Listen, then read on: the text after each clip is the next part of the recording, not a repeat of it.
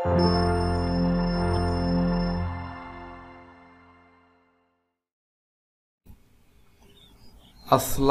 আলাইকুম বাবা। ওয়া আলাইকুম আসসালাম রহমতুল্লাহ বারাকাত বাবা আমি ইসলামী বিধান অনুযায়ী জীবন করতে চাই। বাবা আমি জীবনে ভালো মানুষ হতে চাই। তাহলে আমাকে কি করতে হবে বাবা? ভালো মানুষ হতে চাইলে রাসুলুল্লাহ সাল্লাহ আলাইসাল্লাম এরশাদ করেছেন আল্লাহর সৃষ্টি সেরা জীব মানুষের উপকার করো। কখনোই মানুষের ক্ষতি করো না। তাহলেই তুমি জীবনে ভালো মানুষ হতে পারবে। বাবা আমি সম্মানে হতে চাই। তুমি যদি সম্মানী হতে চাও, আল্লাহর পৃথিবীতে আঠারো হাজার মাখলুকাত সৃষ্টি করেছেন। এর মধ্যে সর্বোত্তম হিসেবে সৃষ্টি করেছেন তার শেরাজীব আশরাফুল মাখলুকাত মানুষ। তুমি এই সৃষ্টির কাছে চাওয়া বন্ধ করে দাও। এ বিষয়ে হজরত মোহাম্মদ সাল্লাহ আলাইসাল্লাম এরশাদ করেছেন, সৃষ্টির কাছে চাওয়া বন্ধ করো, তুমি সম্মানী হবে। বাবা, আমি ন্যায়পরায়ণ হতে চাই। তুমি যদি ন্যায়পরায়ণ হতে চাও, তাহলে তুমি নিজের জন্য যা পছন্দ করো, তা অন্যর জন্যও পছন্দ করো, তোমার আত্মীয় স্বজন, পাড়া প্রতিবেশী সকলের জন্যে। এ বিষয়ে হজরত মোহাম্মদ সাল্লাহ আলাইসাল্লাম এরশাদ করেছেন, যা নিজের জন্য পছন্দ করো, অন্যের জন্যও পছন্দ করো, তাহলেই তুমি ন্যায়পরায়ণ হতে পারবে। বাবা, আমি বড় আলেম হতে চাই। তুমি যদি আলেম হতে চাও বা ইসলামী জ্ঞানের অধিকারী হতে চাও, অবশ্যই তোমার মধ্যে আল্লাহর ভীরুতা থাকতে হবে। আল্লাহকে ভয় করতে হবে। আল্লাহর প্রতি বিশ্বাস রাখতে হবে।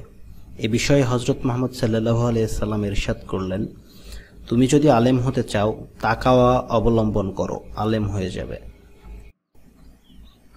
বাবা, আমি ধনী হতে চাই।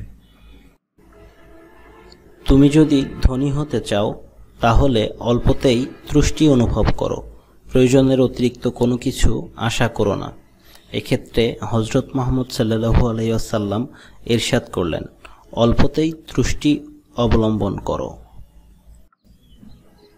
বাবা আমি শক্তিশালী হতে চাই। তুমি যদি শক্তিশালী হতে চাও তাহলে সৃষ্টিকর্তার উপর ভরসা করো। এ বিষয়ে হজরত মোহাম্মদ সাল্লাহু আলাইসাল্লাম এরশাদ করলেন। তুমি যদি শক্তিশালী হতে চাও আল্লাহর উপর ভরসা করো। বাবা আমি আল্লাহর দরবারে বিশেষ মর্যাদার অধিকারী হতে চাই।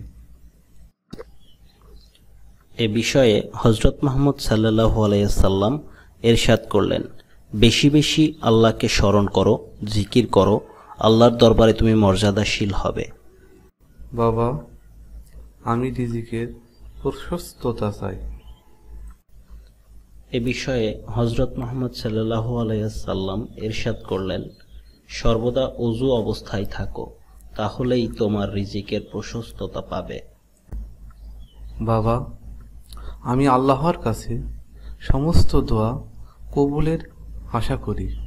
এ বিষয়ে হজরত মোহাম্মদ সাল্লাহু আলাইসাল্লাম এরশাদ করলেন হারাম খাবার হতে বিরত থাকো তাহলেই আল্লাহর দরবারে সমস্ত দোয়া কবুল হওয়ার সম্ভাবনা আছে। বাবা আমি ইমানের প্রশস্ততা কামনা করি। এ বিষয়ে হজরত মোহাম্মদ সাল্লাহু আলহিহাসাল্লাম এরশাদ করলেন চরিত্রবান হও তোমার ইমানের প্রশস্ততা পাবে। তুমি যদি ইহকাল ও পরকালের জীবনে সুখ সমৃদ্ধি পেতে চাও, তাহলে তোমাকে অবশ্যই এই কথাগুলো মেনে চলতে হবে এবং তোমার যা কিছু চাওয়ার আছে সৃষ্টিকর্তার কাছে প্রার্থনা করতে হবে। একমাত্র সৃষ্টিকর্তাই আমাদের সবকিছু দিতে পারে। আল্লাহকে ভয় করো এবং তার রাসুলের দেখানো পথ অবলম্বন করো। প্রতিটি পিতামাতার উচিত তাদের সন্তানদের ইসলামের পথে জীবনযাপন করতে অনুপ্রাণিত করা।